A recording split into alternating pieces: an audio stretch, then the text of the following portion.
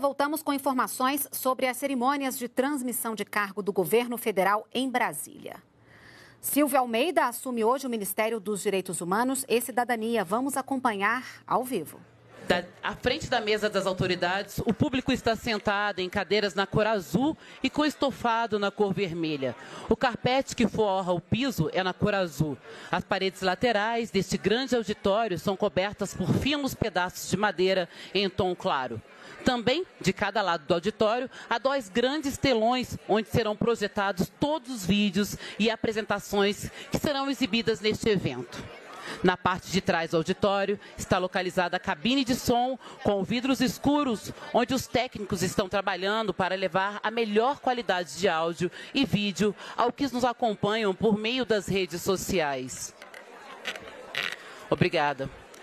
Convidamos para a composição do dispositivo de honra o ministro de Estado dos Direitos Humanos e da Cidadania, o senhor Silvio Luiz de Almeida.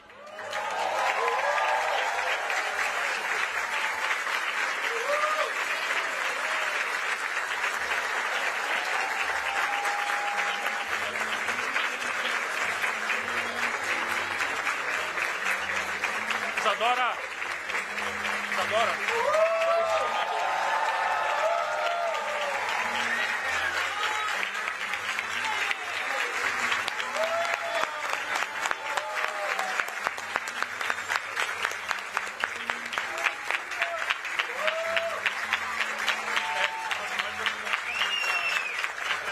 Acompanhado das ex-ministras e dos ex-ministros. José Gregório, virtualmente, Gilberto Vergne Saboia,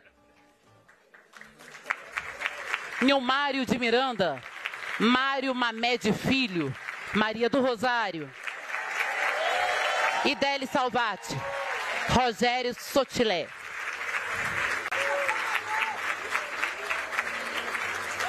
Informamos que participam de forma remota as ex-ministras e os ex-ministros Paulo de Tarso Vanucci, Nilma Lino Gomes, Flávia Piovance, Luiz Linda Valois.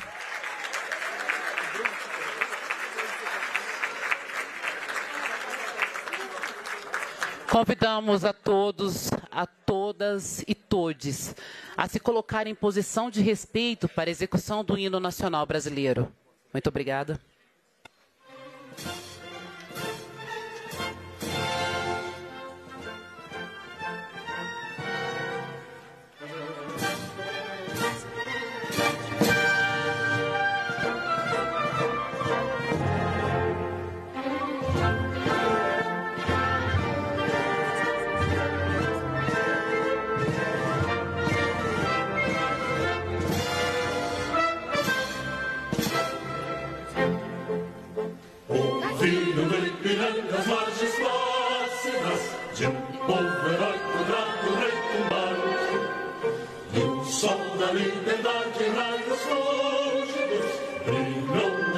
pátria nesse instante se entregou nessa igualdade. Conseguimos conquistar com o braço forte. Eu sei que a liberdade desafia o nosso peito à própria morte. A pátria amada, pela praça, só ressalve. Brasil, um sonho denso raio livre de amor.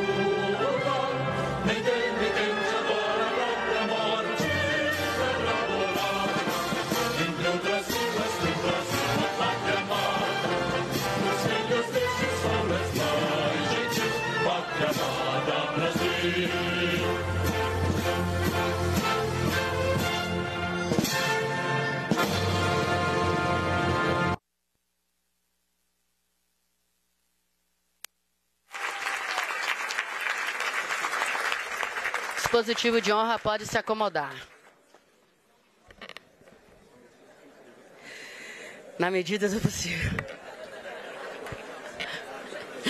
Registramos e agradecemos a presença das seguintes autoridades: Maria Tereza, ministra, presidente do Superior Tribunal de Justiça. Silvia Hux, coordenadora residente das Nações Unidas do Brasil. Defensor Público Geral, Dr. Daniel de Macedo Alves Pereira. Dr. Carlos Frederico Santos, vice-presidente do Conselho Superior do Ministério Público Federal, representando o Procurador-Geral da República. Dr. Carlos Alberto Vilhena, Procurador Federal dos Direitos do Cidadão senadores, deputados federais, deputados distritais, embaixadores e demais representantes das embaixadas, secretários nacionais, representantes das entidades de classe, associações, sindicatos, confederações, servidores do Ministério e da dire... servidores dos, do Ministério dos Direitos Humanos e da Cidadania. Sejam todos bem-vindos. Agradecemos ainda a todos que estão nos acompanhando por meio da transmissão online ou nas redes sociais.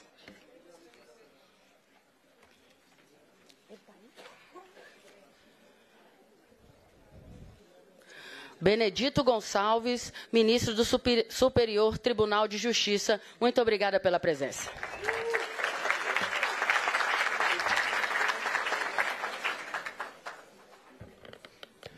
Hoje é um dia histórico para esse ministério. Reunimos aqui uma longa trajetória de promoção e defesa dos direitos humanos, com a presença de vários titulares da pasta de direitos humanos. Elas e eles nos deram a honra de estar presentes para transmitir simbolicamente o cargo ao novo ministro Silvio Luiz de Almeida. Silvio Luiz de Almeida, ministro de Estado dos Direitos Humanos e da Cidadania, é natural de São Paulo, advogado há quase duas décadas, tem intensa atuação no campo dos direitos humanos. Graduou-se em Filosofia pela Faculdade de Filosofia, Letras e Ciências Humanas da Universidade de São Paulo. Doutor em Direito pela Faculdade de Direito da Universidade de São Paulo, onde também realizou suas pesquisas de pós-doutoramento. Silvio tem se destacado nos últimos anos por artigos e livros nas áreas do direito, da filosofia, da economia política e das relações raciais. Seu livro Racismo Estrutural é reconhecido nacional e internacionalmente como um dos mais importantes estudos recentes no campo das relações raciais. É professor da Faculdade de Direito da Universidade Presbiteriana Mackenzie e das escolas de Administração de Empresas e de Direito da Fundação Getúlio Vargas. Em 2020, foi professor visitante do Centro de Estudos Latino-Americanos e Caribenhos da Universidade de Duke, na Carolina do Norte, Estados Unidos. Já em 2022, foi professor visitante da Universidade Colum da Colômbia, do Instituto de Estudos Latino-Americanos em posição anteriormente ocupada por intelectuais como Raul, Lília e Milton Santos. Silvio Almeida também se destaca por sua atuação à frente do Instituto Luiz Gama, organização que visa a defesa jurídica de minorias e a promoção de uma educação antidiscriminatória. Em 2021, foi relator da comissão de juristas criada pela Câmara dos Deputados para propor o aperfeiçoamento da legislação de combate ao racismo institucional. Em 2022, participou da equipe de transição do presidente Luiz Inácio Lula da Silva, como um dos coordenadores do Grupo de Trabalho de Direitos Humanos.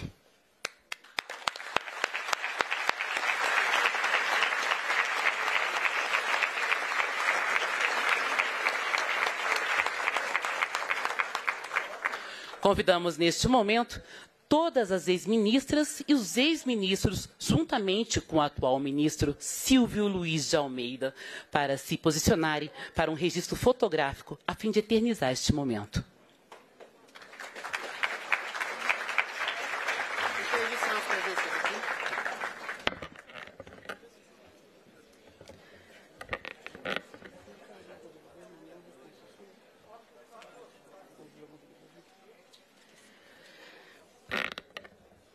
Registramos ainda e agradecemos a presença dos ministros dessa gestão do governo Lula. Luciana Santos, ministra de Estado da Ciência, Tecnologia e Inovação. Sônia Guajajara, ministra dos Povos Indígenas. Aniele Franco, ministra da Igualdade Racial. Ministra Cátia Arruda, representando o Tribunal Superior do Trabalho. Ivan de Souza Filho, do. É, não, Ivan de Souza, ele é filho do Enfio, que foi ganhador do Prêmio Especial da ONU de Direitos Humanos.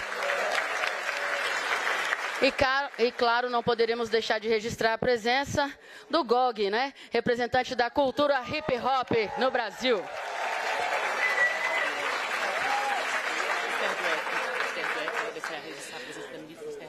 A ministra Esther Dueck também, que está presente aqui. Muito obrigada.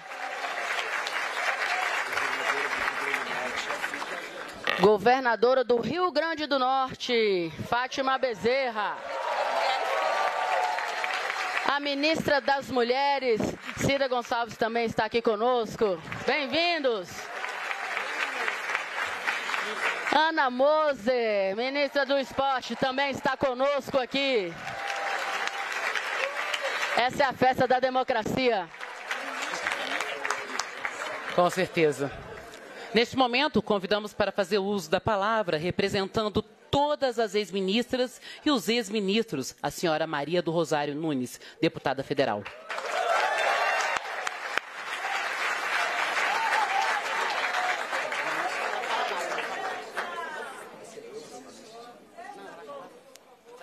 Excelentíssimo senhor ministro de Estado, Silvio Luiz de Almeida, ministro dos Direitos Humanos do Brasil.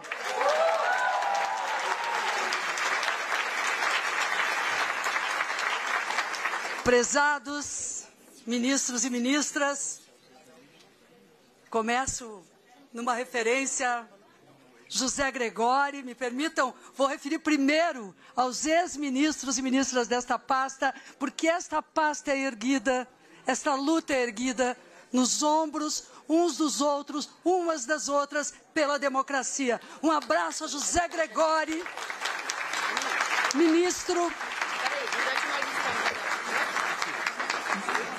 Gilberto Verdini, Saboia. Nilmário Miranda, Mário Mamed Filho, Ideli Salvati, Pepe Vargas, Rogério Sotile, Paulo de Tarso Vanucci, Nilma Lino Gomes. Prezado ministro Silvio, não é o acaso que esta posse acontece, querida governadora Fátima Bezerra, quem saúdo, e me permito saudar os atuais ministros, nas pessoas, nos ministérios de Sônia Guajajara e Aniele Franco. E me permito, peço licença, para uma saudação ao Congresso Nacional, na pessoa de Benedita da Silva, mulher negra constituinte do Brasil.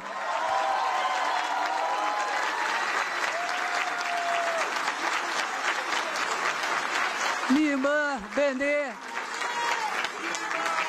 é com muita emoção, é com muita emoção que eu ocupo a palavra e agradeço a gentileza de meus colegas de me oferecerem essa oportunidade.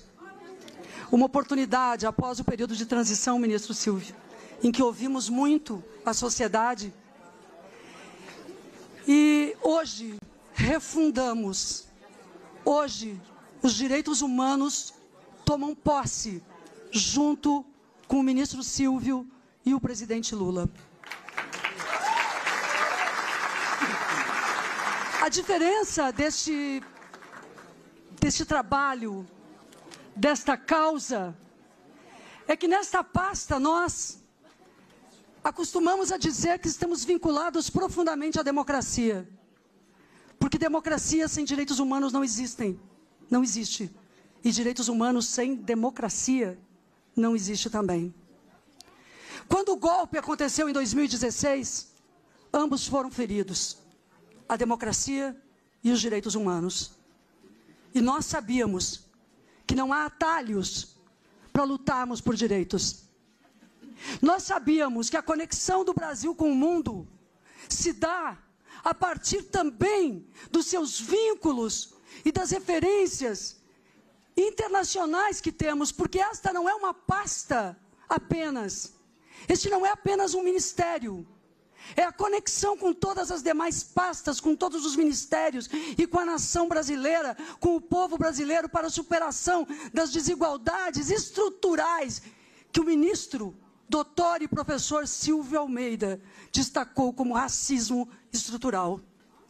Pois esta pasta, por isso vem destacada e sublinhada desde o período da democratização, e ela é filha, em verdade, da Constituição de 88. Ela vem com José Gregori, no primeiro momento, para afirmar que o título primeiro da Constituição Federal do Brasil, que deve valer para todos os brasileiros e brasileiras, os princípios fundamentais tratam da dignidade da pessoa humana em primeiríssimo lugar. Que os objetivos da República estão em construir uma sociedade livre, justa e solidária e que as nossas relações internacionais se pautam pela defesa dos povos, da autonomia, pela paz, pelo repúdio ao terrorismo, ao racismo e pela afirmação dos direitos humanos. Ao estarmos aqui, não apenas toma posse o ministro Silvio, Toma posse o povo negro brasileiro. Toma posse a periferia do Brasil. Toma posse. Tomam posse, meu querido Antônio José, as pessoas com deficiência, Ana Paula. Tomam posse, Similarra, as pessoas LGBTQIA+, tomam posse. Irmão, toma posse o povo que vive nas ruas, os mais de 200 mil brasileiros e brasileiras. É para eles e para elas que existimos. E é com o olhar neste povo, com o olhar neste povo, que o ministro Silvio Almeida representa a cada um e cada uma de nós. Nós sabemos das nossas responsabilidades. No parlamento brasileiro, seguirmos e cumprirmos aquilo que é a nossa obrigação, ministro Silvio. Levantarmos os temas de direitos humanos para que a diversidade religiosa maravilhosa deste país e o diálogo exista onde existiu o ódio. Basta de ódio. Eu o abraço, dizendo que ao longo do último período, nós vivemos a transformação desta, deste ministério em uma pasta voltada ao terror, à afirmação das desigualdades, ao fomento, Jandira Fegali, ao ódio, ao fomento a todas as formas de discriminação. O Disque 100 foi desvirtuado. As políticas de memória e verdade foram atacadas. Fascistas ocuparam espaços na pasta da democracia. Pois para enfrentarmos essa realidade, para enfrentarmos. Não houve, não houve sequer um momento de um olhar amoroso, respeitoso de quem governava o Estado brasileiro sobre as 700 mil vítimas da Covid, os seus órfãos, as crianças, adolescentes, as pessoas idosas. Pois isso tudo, tudo isto, a maior perversidade que há é transformar um título, um símbolo, um nome, como dos direitos humanos, em algo contrário à sua própria essência. Foi isso que o governo anterior fez, discriminando, maltratando, fomentando a divisão dos brasileiros e brasileiras. O presidente Lula nos disse: somos um único Brasil. Se há um lugar onde vamos enfrentar a radicalização da extrema-direita, enfrentar essa fascistização e valorizar a democracia junto com os direitos humanos, é aqui, ao seu lado e sob sua coordenação. E nós estaremos aqui para apoiá-lo em todos os momentos, em cada momento. Saibam, senhoras e senhores, concluo, concluo dizendo que os novos tempos são para a verdade. Os novos tempos são para saudarmos zumbis, dandaras, marielles, mulheres e homens do, povo brasileiro. E saibam, todos e todas, nós só existimos como direitos humanos quando reconhecemos que o Estado brasileiro é essencialmente violador dos direitos humanos. E ao reconhecermos isto, fizermos exatamente o caminho contrário, que é enfrentarmos as nossas próprias chagas, as nossas dores, as nossas verdades, a daqueles que desapareceram, que foram mortos na ditadura e daqueles que no período da democracia também são discriminados e atacados. Viva os direitos humanos no Brasil! Viva Silvio Almeida! Viva, em nome de José Gregori, todos os ministros e ministras. Um grande abraço, muito obrigado.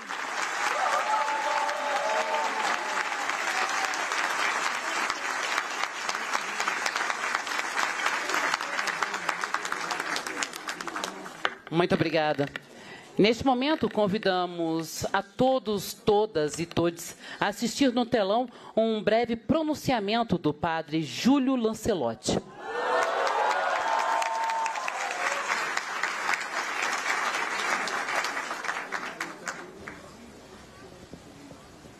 Manifesto ao ministro Silvio Manifesto ao ministro Silvio Almeida dos Direitos Humanos do governo Lula Alckmin todo o nosso apoio e o nosso compromisso de estarmos juntos na luta intransigente na defesa dos direitos humanos e na luta sempre presente pela defesa da população em situação de rua. Estamos juntos e o compromisso está vivo e cada vez mais forte. Em situação de rua. Estamos juntos e o compromisso está vivo e cada vez mais forte.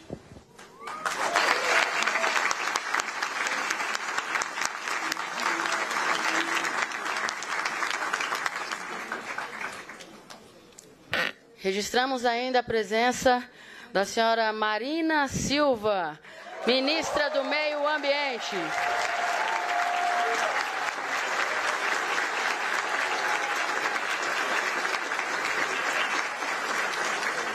Registramos a presença dos reitores e reitoras das universidades federais de todo o Brasil, que estão aqui presentes também. Temos a reitora da UNB, a Márcia Abrão. Reitora da UFSPA, Lúcia Pelanda. Reitor da Unifal MG, Sandro Amadeu. Cumprimentamos ainda os parlamentares que chegaram após o nosso registro e o senador Humberto Costa, presidente da Comissão de Direitos Humanos do Senado Federal. O ministro Vinícius Carvalho, ministro-chefe da CGU. Leda Leal, coordenadora nacional do Movimento Negro Unificado.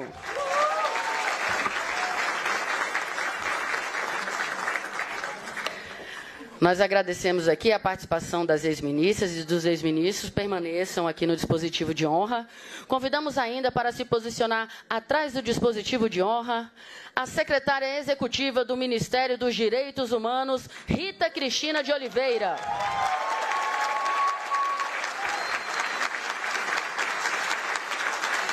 A secretária nacional de Promoção e Defesa dos Direitos Humanos, Isadora Brandão Araújo da Silva.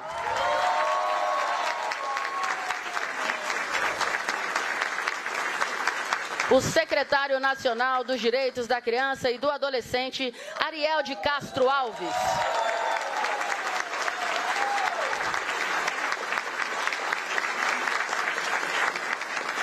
A secretária nacional de promoção e defesa dos direitos das pessoas LGBTQIA+, Similarra.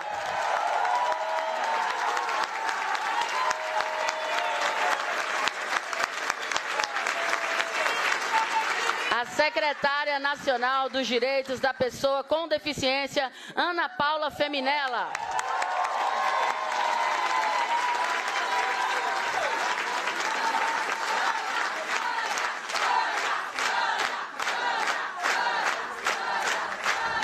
O secretário nacional dos direitos da pessoa idosa, Alexandre Silva.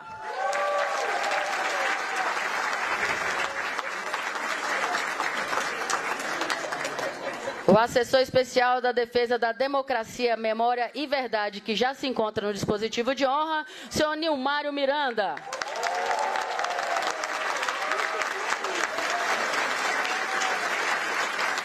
Chefe do gabinete ministerial, Marina Basso Lacerda.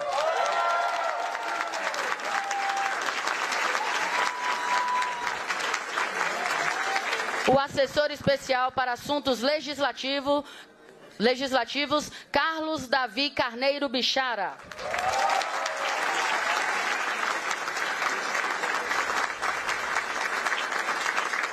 O ouvidor nacional de direitos humanos, Bruno Renato Teixeira.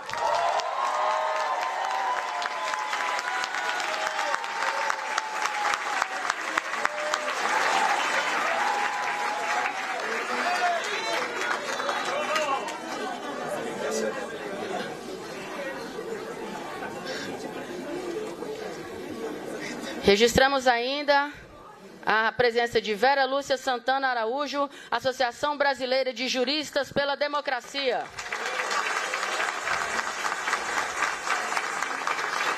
Emissário do rei Doni, Ilê e Fé da Nigéria.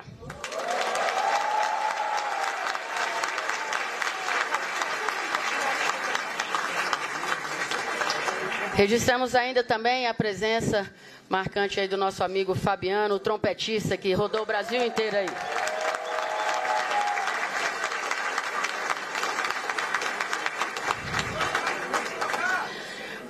Neste momento, passaremos a palavra ao senhor ministro Silvio Luiz de Almeida.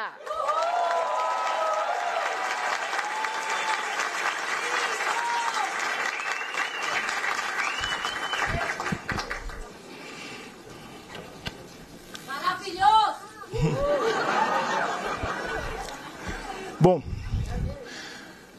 bom dia a todas, bom dia a todos, uma alegria imensa. Acho que qualquer coisa que eu pudesse dizer é, não seria suficiente para descrever esse momento. É, esse momento é um momento de, de festa, um momento de alegria, mas é um momento também que a responsabilidade que eu assumo por conta da confiança que me foi dada pelo presidente Lula é, se tornam bastante visíveis, bastante concretas. É, as expectativas, inclusive, para os meus secretários e secretárias né, entenderem o que, que, se, o, o, que, que nos, o que nos espera. E eu acho que vai ser coisa muito boa, vai ser coisa muito boa, vai ser uma luta, vai ser um bom combate. Então, eu quero, quero fazer alguns agradecimentos iniciais. É, e eu quero começar agradecendo as pessoas que aqui vieram, mas eu também quero agradecer e muito as pessoas que aqui não puderam entrar. É, nós não imaginávamos que tantas pessoas pudessem é, aqui se dirigir nesse dia de hoje, Né? E eu digo que é, isso demonstra, acho que inclusive para o nosso governo, o governo que eu tenho a honra de integrar a partir de hoje, é, como a questão dos direitos humanos ela não pode ser uma questão é, deixada de lado, ela é uma questão central, ela é uma questão que interessa a todos nós. Eu quero falar um pouco mais disso ao longo da minha fala. Eu não posso deixar também de, de cumprimentar as autoridades aqui presentes, é, cumprimento os congressistas e quero também, repetindo a minha amiga, a minha colega, ministra Maria do Rosário, a quem também eu agradeço profundamente pelas palavras tão bonitas. Eu quero agradecer é, as autoridades, os congressistas, e faço por meio da deputada Benedita da Silva, é, e, e, cumprimentando, eu quero cumprimentar a todos os parlamentares que, eu, que estão aqui, eu vejo muitos, né, amigos, amigas que aqui vieram, então sintam-se abraçados, eu me sinto muito prestigiado com a presença dos meus, é, os meus amigos e dos parlamentares e os deputados, quero cumprimentar os senadores, também aqui presente, presentes, é, as autoridades do judiciário, do judiciário que vieram, eu faço é, esse cumprimento na figura de duas pessoas que muito me honram por estar aqui. É, a ministra Maria Tereza de Assis Moura, que eu chamo de professora, porque eu acho que ser professor é o título mais bonito que nós podemos carregar. Eu sou advogado, é, sou agora ministro de Estado, estou ministro de Estado, mas ser professor é a coisa que eu mais tenho orgulho de ser. Quero agradecer também ao Judiciário Brasileiro na figura do meu amigo, ministro Benedito Gonçalves. Obrigado, ministro, por sua presença. Agradeço também meus colegas de ministério, né, com quem eu divido a missão de de reconstruir o Brasil, mais do que reconstruir, construir um novo Brasil. Um Brasil em que todos nós possamos caber. É, então, todos meus colegas ministros, não quero nominá-los um a um, todos são muito importantes para mim, todos me honram com a presença. Então, quero agradecê-los e agradecê-las pela presença aqui. Muito obrigado, muito obrigado. Agradeço também é, aos servidores do Ministério da, dos Direitos Humanos, da Cidadania, que tanto se empenharam, tanto resistiram nos últimos anos. Quero dizer que vocês não serão esquecidos, não estão esquecidos. E que eu respeito e valorizo profundamente tudo que vocês fizeram, mesmo nesses anos tão sombrios. Vocês têm o meu apoio. Saibam disso. Vocês têm o meu reconhecimento. Tem o meu reconhecimento. Eu também não posso deixar de, de cumprimentar, de agradecer as pessoas que é, toparam aceitar esse desafio. Toparam, né? Esse desafio, aceitaram o desafio imenso de comigo partilhar essa, essa jornada. É, de comigo dividir é, essa missão, essa tarefa. Então, quero agradecer às minhas secretárias, aos meus secretários, aos meus assessores, é, pela, é, pela coragem, porque eu acho que é preciso ter coragem nesse momento. Então, vocês são algumas das pessoas mais corajosas que eu já conheci. Então, meu agradecimento. Muito obrigado pelo desafio. Muito obrigado pela coragem. Né? Eu não vou esquecer também de agradecer, né? Falei da, da Rosário, com quem eu muito aprendi nesse no governo durante a transição, mas eu quero cumprimentar a todos os ex-ministros, as ex-ministras, porque para mim seria muito importante receber é, esse cargo, essa incumbência da mão de pessoas que respeitam a democracia, da mão de pessoas que respeitam verdadeiramente os direitos humanos. Então, meu profundo agradecimento a todas as pessoas que aqui estão e aquelas que acompanham também de suas casas, porque por algum motivo não puderam vir, então eu quero abraçar e abraçar, e abraçar todos os secretários e secretárias, os ministros e ministras, né, melhor dizendo, dos direitos humanos, aqueles que me antecederam Sem vocês, isso não seria possível. Sem vocês, eu aqui não estaria. Então, muito obrigado por tudo que fizeram e tudo que ainda fazem pelo Brasil. Tudo que ainda fazem pelo Brasil. Pois bem, é, ao me dirigir a todos e todas as pessoas aqui presentes, sinto-me no dever de compartilhar uma mensagem que ressoe não apenas na dimensão do tempo que nós chamamos de presente. Nosso passado e nosso futuro também estão em jogo, senhoras e senhores. Nessa nova etapa do país que agora se abre diante de nós. Diz um antigo ditado Yorubá: Exu matou o pássaro ontem com a pedra que só jogou hoje. Acho que muitos de vocês já conhecem esse ditado.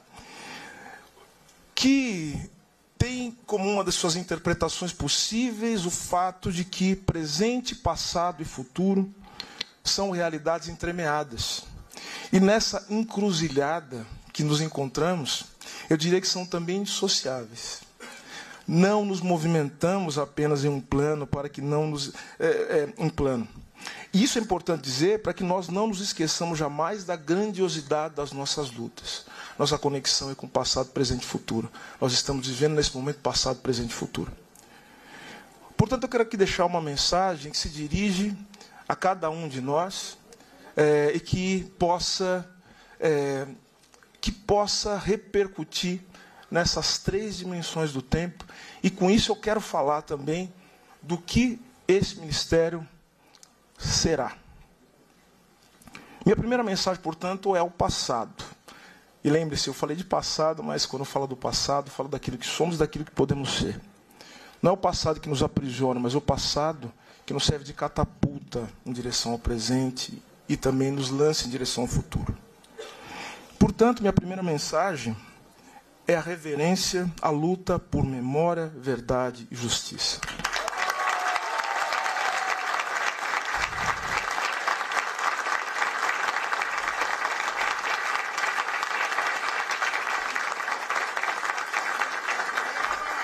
Prezados e prezadas, assumo hoje a função de ministro de Estado, Direitos Humanos e Cidadania, tendo a plena consciência de que não o faço só e nem mesmo faço por mim. Sou fruto de séculos de lutas e resistência de um povo que não se resignou, nem mesmo diante dos piores crimes e horrores da nossa história. Não, nós não nos ergamos, nós não nos rendemos. Nós somos o povo que, mais de um século antes do pastor Martin Luther King ter dito isso, disse Luiz Gama que tinha um sonho. Luiz Gama disse que tinha um sonho, que era ver o Brasil americano e as terras do Cruzeiro sem reis e sem escravos. E somos esse povo, dentre outras coisas, por saber que Luiz Gama não teria sonhado se não fosse por sua mãe, Luiza Maim. E, esse não teria, e essa não teria sonhado se não fosse por seus antepassados que levaram diante o sopro de, da vida para seus filhos e netos. Por isso, irmãos e irmãs que aqui estão, jamais se enganem. A nossa força é, sobretudo, a força dos nossos ancestrais. Nessa força que também me habita, carrego comigo, com meus irmãos e irmãs, as dores, as alegrias e, sobretudo, a luta e a força de um povo que, apesar de tudo e de todos, sobreviveu e ainda sobrevive. Legando esse país um patrimônio material e material indescritível. Seja nas artes, na religiosidade, no futebol, no samba, nas universidades, ou em cada tijolo posto sobre tijolo nesse país. Das humildes alvenarias periféricas aos mais suntuosos palácios, de onde muitas vezes nós somos enxotados, como se nada tivéssemos a ver com as belezas erguidas por nossas próprias mãos. Não nos enganemos sempre houve aqueles que quiseram e aqueles que ainda querem nos separar da nossa criação.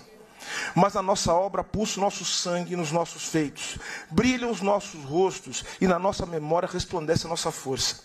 Haverá o dia em que não seremos mais alienados dos frutos do nosso trabalho e do nosso engenho e poderemos, enfim, gozar dos nossos talentos e do nosso tempo livre em invenções ainda mais grandiosas. Hoje coloco-me humildemente como um operário na escrita de mais um capítulo desse sonho.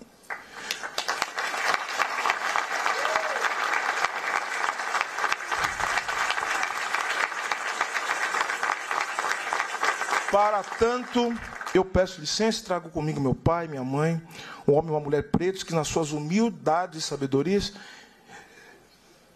ensinar o meu valor do amor, das lutas cotidianas e da dignidade humana. Trago também meus irmãos, meus tios, meus sobrinhos, meus primos, meu primo está ali, querido, Capita, minha companheira Dineia, né? sem ela nada disso seria possível, está ali. Amigos e amigas e todos aqueles e aquelas que contribuíram com um projeto do qual sou hoje e ao mesmo tempo parte e testemunha. Também trago a luta de Zumbi, de Dandara, do já citado Luiz Gama Luiz Amaim, de Abdias, de Guerreiro Ramos, de Lela Gonzalez, de Milton Santos, de Marielle Franco, de Pelé, que foi ministro de Estado também desse Brasil. E tantos outros e outras que permitiram que eu aqui estivesse hoje, um homem preto, ministro de Estado, a serviço de uma luta que um dia também foi deles. Não posso dizer que suas lutas não serão esquecidas, até porque não se esquece daquilo que está presente. Mas posso e quero dizer que as suas lutas serão honradas por mim e pela minha equipe que aqui está. Nesse espaço pelo qual torno-me, a partir de agora, o maior responsável. Isso significa, dentre outras coisas, não esquecer as lições da história das lutas contra a escravidão, contra a fome, contra a morte pelo trabalho e pela moradia dignos. Significa não esquecer da luta daqueles que foram presos, torturados e mortos pelo autoritarismo do Estado brasileiro. Seja no Império, na dita velha República, que criminalizava todos os aspectos da nossa existência, ou na ditadura militar, que ceifou os melhores anos dos verdadeiros patriotas, que ousaram se levantar contra a covardia dos poderosos. Senhoras e senhores, temos enfim a consciência que as histórias a nós legadas ainda estão sendo escritas. Não apenas porque temos nós a responsabilidade de levá-las adiante, mas porque ainda estão sendo vividas e tecidas em seus significados. Somos parte desse processo, estamos todos ligados por uma miríade de fios visíveis e invisíveis, de laços ao mesmo tempo belos e dolorosos, para os quais nem sempre estamos dispostos a olhar com sinceridade. Como ministro de Estado, ouso dizer, por exemplo, que o Brasil ainda não enfrentou a contento os horrores da escravidão, como outros traumas também que se avolumam sobre nós, o que permite que sua obra, né, a obra da escravidão nesses traumas, se perpetue na forma do racismo, da fome, do subemprego e da violência contra homens e mulheres pretas e pobres deste país. Assim como muitos desejam seguir em frente. Eu quero seguir em frente. Mas jamais aceitaremos o preço do silenciamento e da injustiça. A verdadeira paz será aquela que construiremos com a verdade, com o cultivo da memória e a realização da justiça. Agora eu quero falar da segunda mensagem, ou melhor, da mensagem que agora eu quero dirigir ao presente. Recebo hoje um ministério arrasado. Conselhos de participação foram reduzidos ou encerrados, muitas vozes da sociedade foram caladas, políticas foram descontinuadas e o orçamento voltado para os direitos humanos foi drasticamente reduzido. Como crueldade derradeira, a gestão que se encerra tentou extinguir, e vou dizer, tentou extinguir sem sucesso a comissão de mortos desaparecidos. Não conseguiu. Nesse sentido, eu quero que todos saibam, e com isso vou contar com o compromisso do meu assessor especial, Nilmar Miranda, que muito me honra. Muito obrigado, Nilmar. É um privilégio ter você ao meu lado. Nesse sentido, eu quero que todos saibam que todo ato ilegal baseado no ódio e no preconceito será revisto por mim e pelo presidente Lula, que sempre teve um compromisso com a democracia.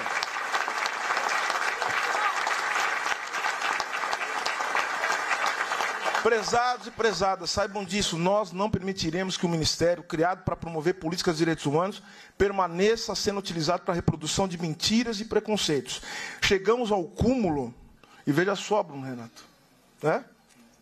Chegamos ao ponto de ver a Ouvidoria Nacional de Direitos Humanos, e você vivenciou isso, meu caro, sendo usada para propagar discursos contra a política de vacinação. Não mais. Essa era se encerra nesse momento. Acabou.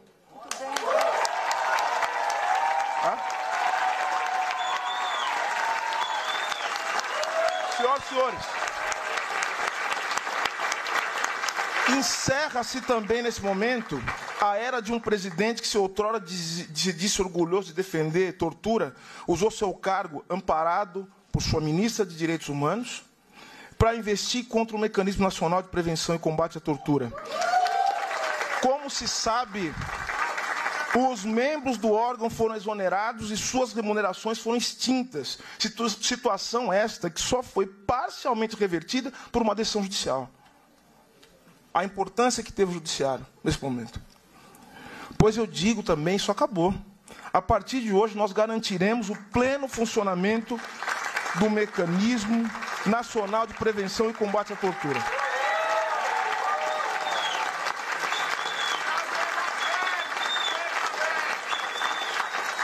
Tenho, no entanto, a plena consciência que, diante do cenário desolador em que recebo o ministério, não terei facilidades. Saibam disso. Estaremos juntos nisso. E por isso a transparência será algo fundamental, ministro, meu amigo Vinícius. Ofereço, no entanto, a mim mesmo o esforço inaudito da minha equipe e estendo a mão a todos aqueles e aquelas que dispuserem a fazer parte desse processo de reconstrução. Seremos o Ministério do Diálogo, da cooperação e da união de esforços.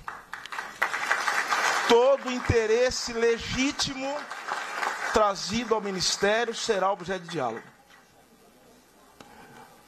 Como dizia Drummond, não nos afastamos, não nos afastemos, melhor dizendo, vamos de mãos dadas.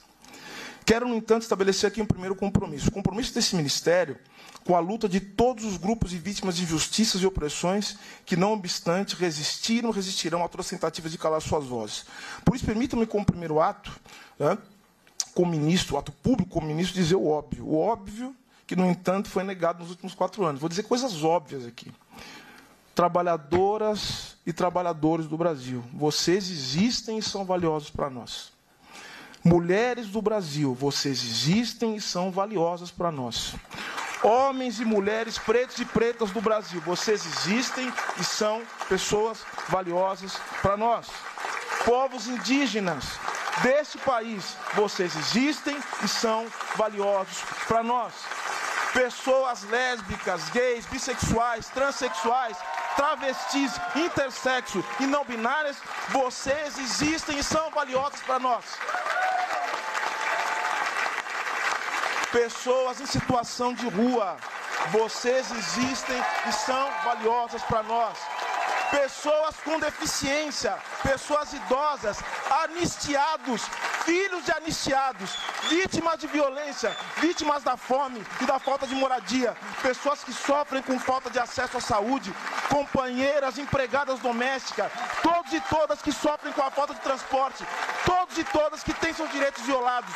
Vocês existem e são valiosos para nós. Com esse compromisso, quero ser ministro de um país que põe a vida e a dignidade em primeiro lugar.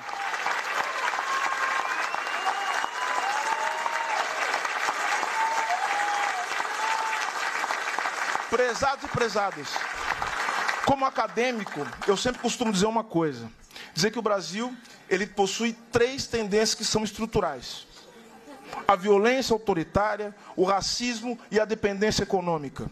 Como ministro, portanto, meu maior compromisso não poderia ser outro senão lutar para que o Estado brasileiro deixe de violentar seus cidadãos.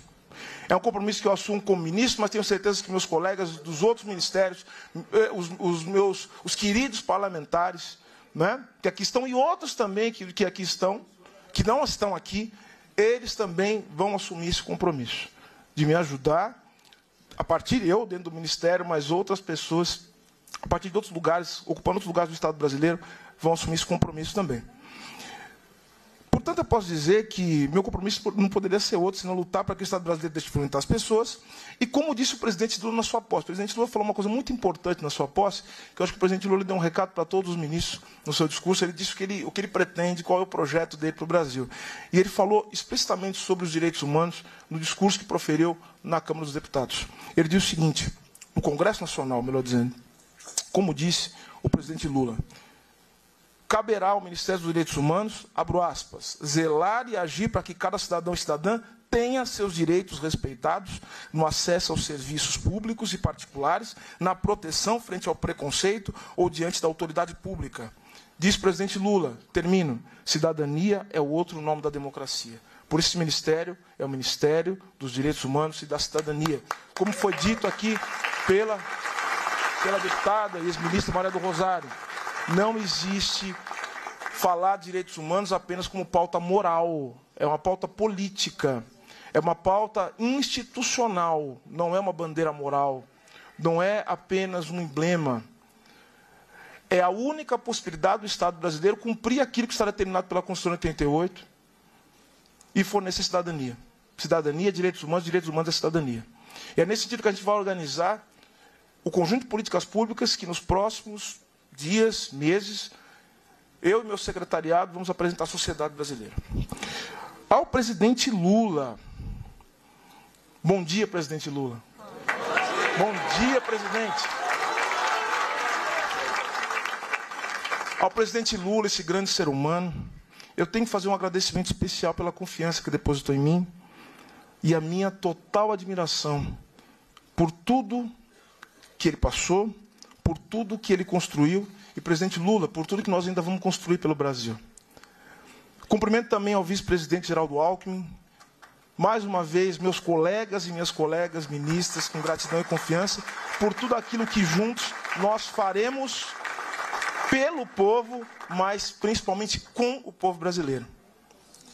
Como eu dizia antes, nosso maior compromisso será lutar contra a violência, sobretudo a violência estatal. Isso significa, dentre outras coisas, lutar contra o assassinato de jovens pobres e negros, lutar contra um direito administrativo que rouba camelôs, lutar contra um direito administrativo eh, que expulsa crianças da escola, fecha postos de saúde, recolhe pertences de pessoas em situação de rua e permite agressão contra todos os excluídos e marginalidades da nossa sociedade. Para que essa luta prospere, é preciso reconstruir as instituições e compromissar toda a administração pública com políticas de direitos humanos.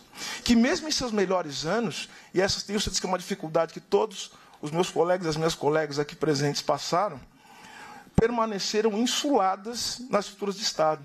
Foi uma luta para que nós pudéssemos expandir a política de direitos humanos, transformar não apenas em política de governo, mas sentido de colocá-la como política de Estado. Acho que esse é o grande objetivo. O direito constitucional, desenvolvido sob a égide da Constituição de 88, logrou fazer avançar diversos ramos do direito. O direito administrativo, no entanto, permaneceu relativamente intocado, legitimando a violência contra os pobres e permitindo que o desmonte de políticas públicas não encontrasse entraves impeditivos. Agora nós temos que transformar. Portanto, a política de direitos humanos exige um novo direito administrativo, senhoras e senhores. Existe um novo direito administrativo.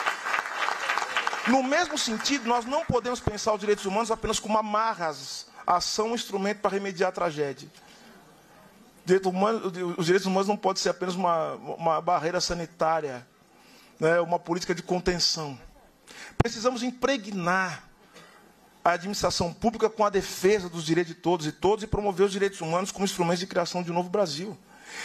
Se condizente com os direitos humanos, nossa reforma administrativa é, reforma que não é, nós sabemos isso. Olha as pessoas que vão cuidar disso, são as pessoas da melhor qualidade. Então nós não podemos achar que reforma administrativa, a, a, que nós precisamos de fato, ela é a do sucateamento, da privatização, do desmonte do serviço público. Não é essa que nós queremos. E o presidente Lula disse isso, eu não estou dizendo nada né, por esponte própria. Deve ser aquela, a reforma, aquela que vai colocar a promoção de direitos humanos e as entregas de serviços públicos de qualidade como uma força motriz da ação do Estado brasileiro.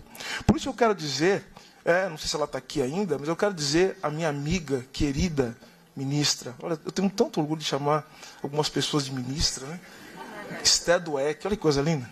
Ministra Esté Dueck, que conte comigo e com esse ministério para o projeto que lhe foi confiado.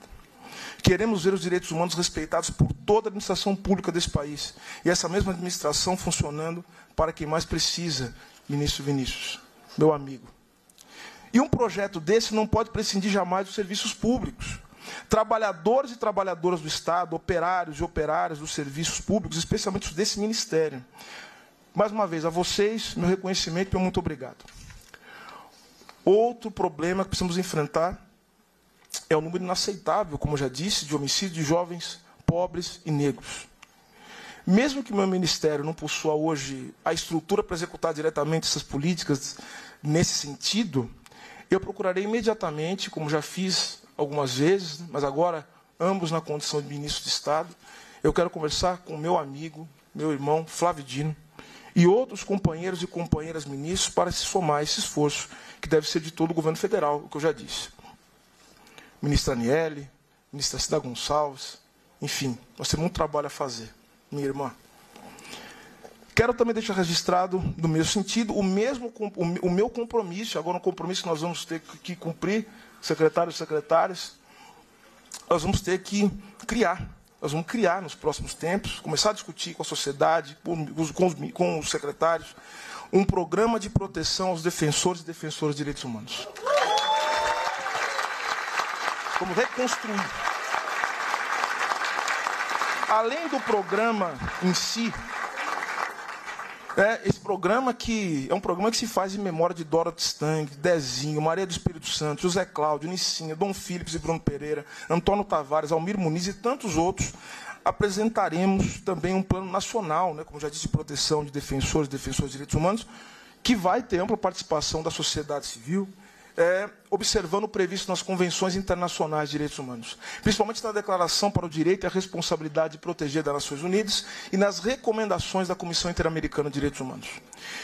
Em um momento que tanto se fala de desastres climáticos, ministra Marina Silva, gostaria de enfatizar que no novo programa de defensores e defensores de direitos humanos, nós daremos uma atenção especial à situação dos defensores ambientalistas, que segundo os números que dispomos, são os que mais morrem pelas mãos dos criminosos que querem deter o curso da história, mas que não conseguirão fazê-lo.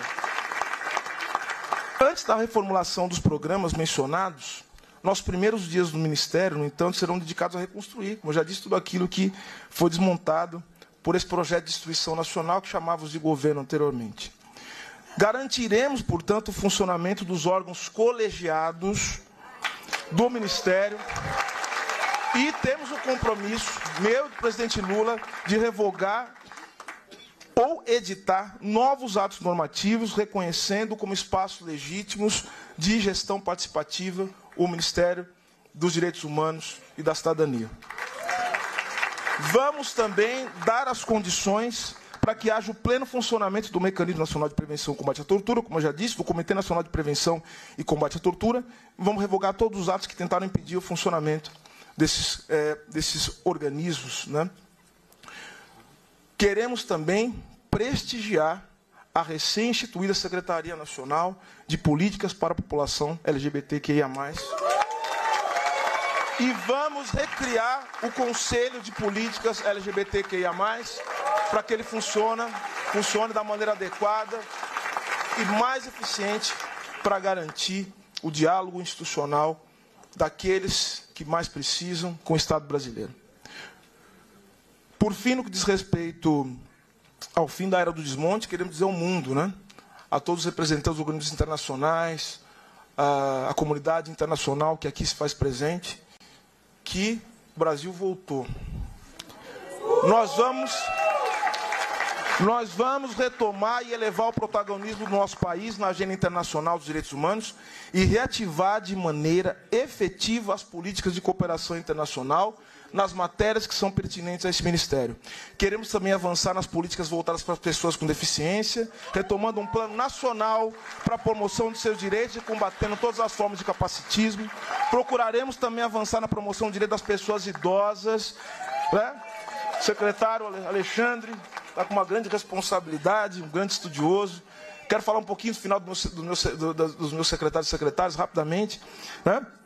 É, e estabelecendo e reconhecendo as práticas e trabalhos de cuidado, cuidado, essa é a palavra, diz o presidente Lula, como parte fundamental e valiosa da infraestrutura nacional. E o momento no qual o extremismo, o racismo e a produção maliciosa de notícias falsas se disseminam diante da ausência de políticas públicas, será fundamental retomar também um plano de educação em direitos humanos e promoção de uma cultura de respeito, igualdade, democracia e paz. Eu tenho certeza, eu tenho certeza de que muitas serão as dificuldades, muitos permanecerão os problemas da nossa, na nossa gestão, final da nossa gestão. É, desafios de toda sorte nos aguardam. Embates, desafios, sabemos disso, não somos ingênuos. Mas uma coisa posso garantir: não esquecerei os esquecidos. E sei também, vou lembrar aqui do meu amigo Emicida, está representado pelo seu irmão Fiote, grande artista, meu irmão, meu amigo, está ali. Quero lembrar da frase Emicida. Se lembram de mim, sentem a lágrima escorrer da minha voz, escutam a música da minha alma. Como canta, falei Emicida. E aqui eu termino a minha última mensagem. Agora, agora em direção ao futuro. Calma, calma, calma. Vamos lá. Nós temos que honrar as lutas que me eu tenho que honrar as lutas que me trouxeram até aqui. Significa, no entanto, não apenas reconstruir aquilo que foi destruído, nem apenas melhorar aquilo que outrora fora feito de bom. Significa também apontar para o futuro, apontar para um projeto que ainda vem. Convém lembrar, portanto, que a população negra pós-periférica desse país lutou ativamente pela redemocratização e pela Constituição. Fomos beneficiados pela criação do SUS, pela ampliação da rede educacional e reconhecidos pela criminalização do racismo. Durante os governos democráticos e populares, conquistamos, dentre outras coisas, os programas de transferência de renda, a lei do ensino de história afro-brasileira indígena e as cotas nas universidades e nos serviços públicos. Jamais podemos subestimar, portanto, as conquistas e todas as mudanças que elas geraram na vida de meninos e meninos, negros e negras e pobres desse país. Como diz o Mano Brown, eu vim da selva, sou leão, sou demais para o seu quintal, ele canta. O acesso à educação e, ação, e a ação afirmativa foram fundamentais para desnaturalizar o lugar dos negros e negras desse país. Não cabemos no quintal de ninguém. E queremos e iremos ocupar todos os espaços da sociedade. Isso eu estendo as pessoas LGBTQIA, estendo também as pessoas com deficiências, pessoas idosas. E, obviamente, criança e adolescente, que eu vou falar daqui a pouco. Por outro lado, foi também nas rimas do rap nacional que entendi que algumas das grandes mudanças vividas pela sociedade brasileira, a partir da redemocratização, não se estenderam à população pobre, periférica, negras, excluídos em geral desse país. Muitos trabalhadores e trabalhadoras desse país continuam condenados e condenadas ao desemprego e ao subemprego. A falta de moradia, falta de mobilidade, falta de saneamento básico. Eu tenho agora, mais do que nunca, na condição de ministro de Estado do governo de Luiz Inácio Lula da Silva, a responsabilidade de propor caminhos. O primeiro deles, como já sinalizado, é expandir a política de direitos humanos e promoção da cidadania para além do Ministério dos Direitos Humanos, essa é ideia. Porque de pouco adiantarão os nossos esforços se os direitos humanos não estiverem, não estiverem é, presentes na saúde, na educação, na assistência social e em tantas outras pastas. Nesse sentido, não conseguiremos construir uma rede de proteção integral. Olha lá, as crianças e adolescentes. As crianças e adolescentes deste país as pessoas em situação de rua. Está vendo a sua responsabilidade, secretário? É isso que vamos fazer. É, nós vamos ter que fazer um amplo diálogo nacional, que envolva as pastas do governo federal e uma ampla concertação nacional. Mais importante ainda é que os direitos humanos estejam presentes na condução da política econômica desse país. Quero aqui estender minha mão aos meus companheiros, né? Ministros Fernando Haddad, ministra Simone Tebet e ao vice-presidente Geraldo Alckmin, para que juntos pensemos em um projeto de desenvolvimento que seja inclusivo, inclusive sustentável e radicalmente democrático. Por isso, nós também anunciamos aqui a criação de uma assessoria especial empresas e direitos humanos. Vamos discutir essa questão. Nós sabemos que no âmbito das relações privadas e econômicas existe uma, um amplo leque de violação de direitos humanos. Então vamos discutir também né, com, é, com aqueles responsáveis pela condução da economia brasileira, como nós podemos fazer uma concertação nacional e internacional, porque há tratados internacionais que já tratam sobre isso, ou pelo menos que estão sendo criados sobre isso, sobre a relação de empresas e direitos humanos. Por fim, o Sul Global precisa propor um novo conceito de direito ao desenvolvimento, senhoras e senhores que dialogue com as nossas realidades, com as necessidades do povo e aponte para as possibilidades concretas de superação da privação material e construção de prosperidade comum. Se a gramática dos direitos humanos nada disser a quem sente fome, a quem está desempregado, a quem sobrevive com um trabalho precário, de nada valerão nossos esforços e abriremos novamente, como já aconteceu, as portas para o fascismo que ainda nos espreita. Portanto, nós queremos romper as barreiras de comunicação sobre os direitos humanos. Deputado Janones, que muito me honra com a sua presença aqui. Muito obrigado, deputado. Essas barreiras de comunicação, deputado, que nós ainda não fomos capazes de superar. Nós precisamos construir uma linguagem de direitos humanos que não fale apenas, e é importante que fale também, mas não apenas para os organismos internacionais. Movimentos organizados e beneficiários diretos das nossas políticas públicas. Quero ser ministro de Direitos Humanos de um país no qual esse conceito ressoe no coração do homem e da mulher comum, dos trabalhadores e trabalhadoras informais, precarizados, um país no qual consigamos levar adiante a nossa mensagem. E nesse sentido, eu quero aqui é, costurar algo muito especial, é algo que eu quero me empenhar.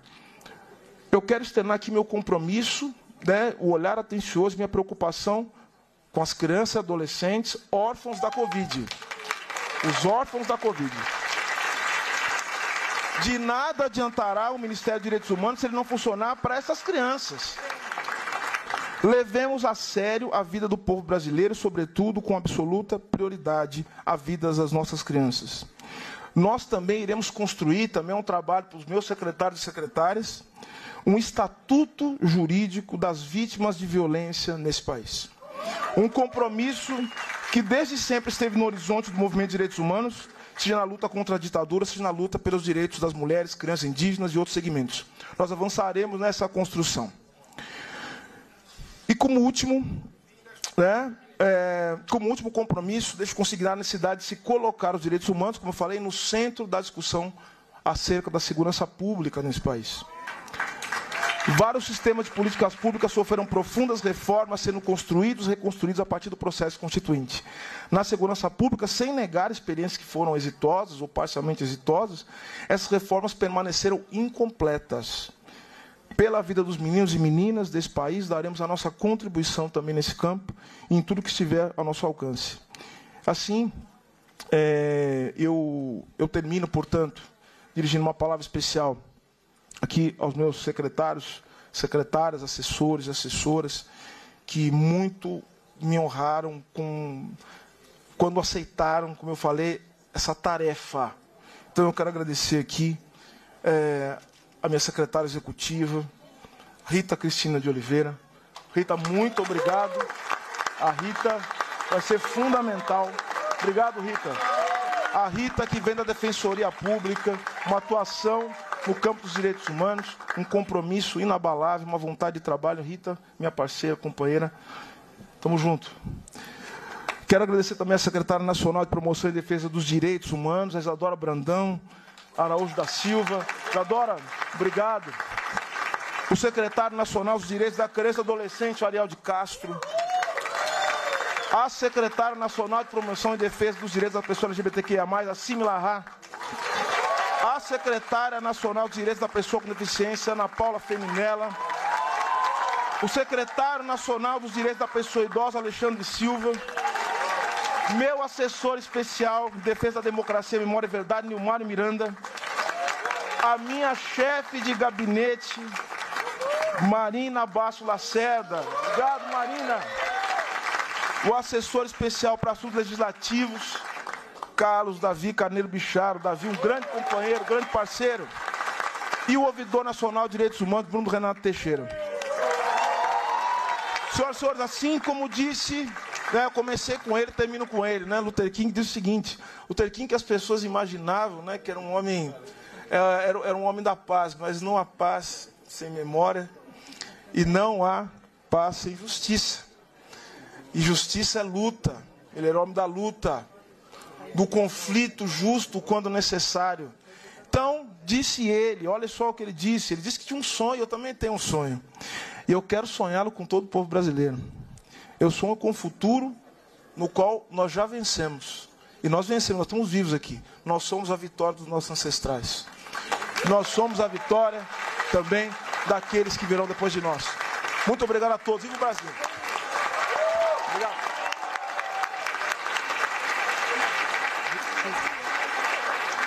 Essas foram as palavras do nosso ministro dos Direitos Humanos e da Cidadania, Silvio Almeida.